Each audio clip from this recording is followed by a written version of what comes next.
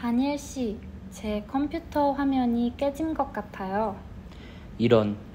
전에도 깨진 적 있어요? 아니요, 이번이 처음이에요. 이건 제가 못 고칠 것 같은데요. 이렇게 심하게 깨진 걸 고쳐 본 적은 없어서요. 괜찮아요. 제가 수리점에 맡길게요. 좋은 생각이에요. 저도 수리점에 맡겨서 고쳐 본 적이 있어요. 제 것도 고쳐졌으면 좋겠어요. 그럼 수고해요. 네, 고마워요.